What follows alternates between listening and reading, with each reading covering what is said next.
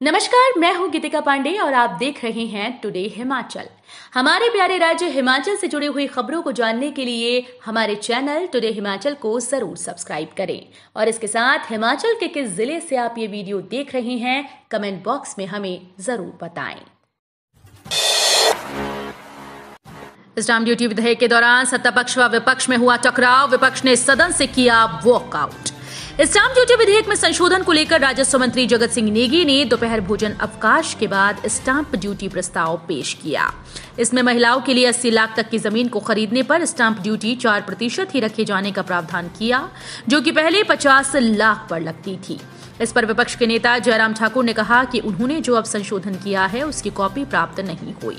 इसको लेकर दोनों तरफ़ से नोकझोंक हुई और विपक्ष में सत्ता पक्ष की कम संख्या की मौजूदगी के चलते इसे सदन में पारित करने के प्रयास के विरोध में सदन से वॉकआउट किया गया। सांस्कृतिक कार्यक्रम हमारी धरोहर को ज़िंदा रखने में करते हैं मदद। गद्दी छात्र कल्याण संघ ने शनिवार को शिमला में वार्षिक सांस्कृतिक कार्यक्रम का आयोजन किया। कार्यक्रम में विधानसभा अध्यक्ष कुलदीप सिंह पठानिया ने बतौर मुख्य अतिथि शिरकत की। उन्होंने दीप प्रज्वलित कर सांस्कृतिक कार्यक्रम का शुभारंभ किया। कार्यक्रम में जिला कांगड़ा और जिला चंबा के गद्दी समुदाय से जुड़े सैकड़ों छात्र मौजूद रहे। इस दौरान छात्र छात्राओं ने गद्दी समुदाय की पोशाक में सांस्कृतिक प्रस्तुतियाँ दी। इस अवसर पर छात्रों को संबोधित करते हुए विधानसभा अध्यक्ष कुलदीप सिंह पठानिया ने कहा कि हमारा देश युवाओं का देश है। दुनिया में सबसे ज़्यादा युवा अगर किसी देश में हैं तो वो भारत में हैं। पैतालीस श्रेणी दो सौ बारहवे एडवांस माउंटेनियरिंग प्रशिक्षण शिविर में ले रहे भाग 26 सितंबर तक होगा आयोजित।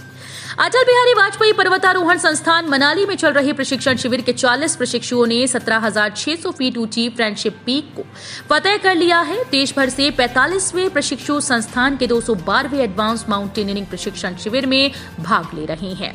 शिविर के दौरान संस्थान के अनुभवी प्रशिक्षक प्रशिक्षुओं को पर्वतारोहण के सभी गुण सिखा रहे हैं। ये प्रशिक्षण शिविर 30 अगस्त से चल रहा है, जो कि 26 सितंबर को संपन्न होगा।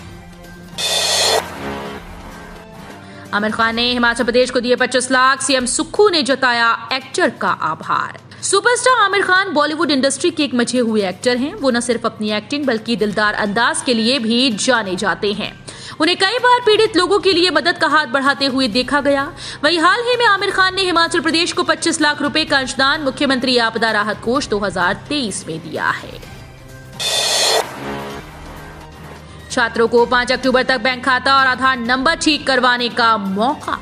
केंद्र सरकार ने पोस्ट मैट्रिक स्कॉलरशिप 2021-22 के लिए छात्रों को 5 अक्टूबर तक बैंक खाता और आधार नंबर ठीक करवाने का मौका दिया। नेशनल स्कॉलरशिप पोर्टल पर छात्र इसे दुरुस्त करवा सकते हैं। इस दौरान विभाग ने 32 छात्रों की सूची जारी की। विभाग ने साफ़ किया कि यदि उक्त तय अवधि में भी इन छात्रों ने आधार नंबर और बैंक खाता सही नहीं करवाया तो उन्हें छात्रवृत्ति राशि नहीं मिलेगी। उनके खाते में ये राशि क्रेडिट नहीं होगी। चार दिनों से नौकरी बचाने में जुटे हैं कोविड वॉरियर्स। मानसून सत्र में अपनी नौकरी बचाने और लिखित रूप से आश्वासन मिलने तक मांगों पर अधिक राज्य के रियल कोविड वॉरियर्स चौथे दिन शनिवार को बैठे हुए हैं। रात खुले आसमान तले बीत रही है और दिन में वर्षा के बीच भी इनके हौसले नहीं तोड़ पाई इनके घरों में 30 सितंबर को सेवाएँ समाप्त होने के पत्र विभाग की ओर से भेजे जा रहे हैं, जबकि ये वॉरियर्स शिमला में अपनी नौकरी को जाते देख तड़प उठे हैं। कोर्ट का जो फैसला आएगा, उसके तहत होगा काम। फोर लेन व एनएच निर्माण पर बोले विक्रमादित्य सिंह। शाहपुर बाज़ार में भूमि अधिग्रहण न होने से राष्ट्रीय उच्च मार्ग निर्माण को लेकर उत्पन्न हुई स्थिति का मामला सदन में उठा। शाहपुर से विधायक केवल सिंह पठानिया ने शनिवार को नियम बासठ और ध्यानाकर्षण प्रस्ताव के तहत ये प्रस्ताव सदन में रखा। उन्होंने कहा कि एनएचएआई ने जब शुरू में इसका सर्वे किया था तो रिपोर्ट कुछ और थी। जब भू अधिग्रहण शुरू होने का काम प्रारंभ हुआ तो अलाइनमेंट रिपोर्ट को बदला गया।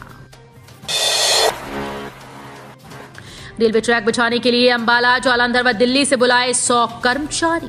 शिमला व सोलन के बीच विश्व धरोहर रेलवे ट्रैक को बहाल करने के लिए मरम्मत का कार्य युद्ध स्तर पर जारी है। समन हिल के समीप क्षतिग्रस्त हुए रेलवे ट्रैक को ठीक करने के लिए रेलवे प्रबंधन ने अंबाला, जालंधर, दिल्ली से सौ कर्मचारियों को बुलाया है और ये लोग ट्रैक बिछाने के कार्य में जुट गए। बीते कई दिनों से इस ट्रैक को ठीक करने का कार्य जारी है और विशेष गाडा लगाकर ब्रिज को ठीक किया गया है और अब यहाँ पर ट्रैक बिछाने का कार्य शुरू हो गया है।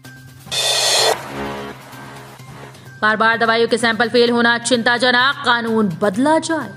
पूर्व मुख्यमंत्री शांता कुमार ने कहा कि हिमाचल के दवाई उद्योग में बनाई दवाइयाँ बार बार सैंपल फेल होना चिंताजनक है। हिमाचल की बारह दवाइयाँ फेल होने का समाचार अभी आया। कुछ समय पहले समाचार आया था कि छह मास में हिमाचल की तिरानवे दवाइयों के सैंपल फेल हो गए। उन्होंने कहा कि भारत दवाई उद्योग उत्पादन में पूरे विश्व में एक अग्रणी स्थान रखता है। सस्ती जेनरिक दवाई बनाने में भारत को विश्व की फार्मेसी भी कहा जाता है। इस उद्योग में करोड़ों रुपए लगे हैं और हज़ारों लोगों को रोज़गार मिल रहा है।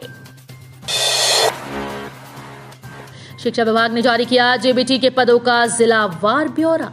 प्रारंभिक शिक्षा विभाग ने जेबीटी के भरे जाने वाले 2521 पदों का जिलावार ब्यौरा जारी किया। इसके तहत मंडी में जेबीटी के सबसे ज़्यादा पद भरे जाएँगे।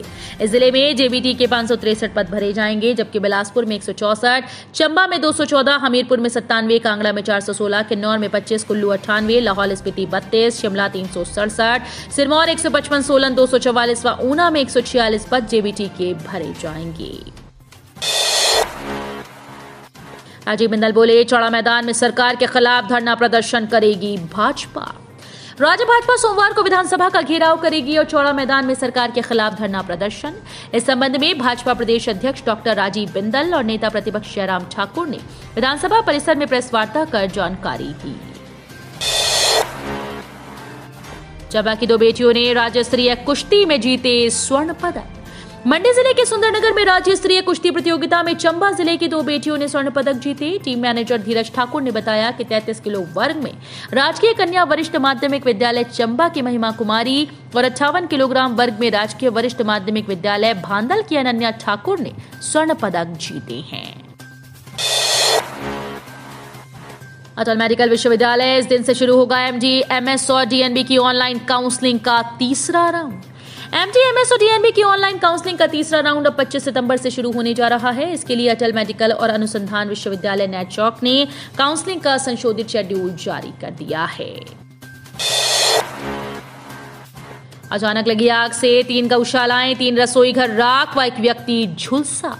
उपमंडल सलोनी के खनी गाँव में आग लगने से तीन गौशालाएँ और तीन रसोई घर जलकर खाक हो गई। इस घटना में एक व्यक्ति बुरी तरह से झुलस गया। उसे उपचार के लिए नागरिक अस्पताल की हार पहुँचाया गया। यहाँ प्राथमिक उपचार के बाद चिकित्सकों ने घायल को मेडिकल कॉलेज चंबा रेफर कर दिया। घटना में लाखों रुपए का नुकसान हुआ है। कालका शिमला नेशनल हाईवे पर ट्रक पलटा, चपेट में आने से राहगीर की मौत, दो घायल। कालका शिमला एनएच पाँच पर धर्मपुर चौक पर एक ट्रक की चपेट में आने से एक व्यक्ति की मृत्यु हो गई। हादसा शनिवार शाम करीब छह बजे हुआ। इसमें ट्रक चालक ने नियंत्रण खो दिया और अचानक सड़क पर पलट गया, जिसकी चपेट में राहगीर आ गया, जबकि दो अन्य लोग घायल हुए। स्थानीय लोगों ने इसकी सूचना पुलिस को दी। पुलिस ने मौके पर पहुंचकर मामले की जाँच पड़ताल शुरू कर दी है। तो ये थे हिमाचल प्रदेश से जुड़े हुए आज के ताज़ा तरीन समाचार। उम्मीद करते हैं आपको ज़रूर पसंद आए होंगे। थोड़े से भी पसंद आए हो तो चैनल को सब्सक्राइब और वीडियो को लाइक करना बिल्कुल ना भूलें।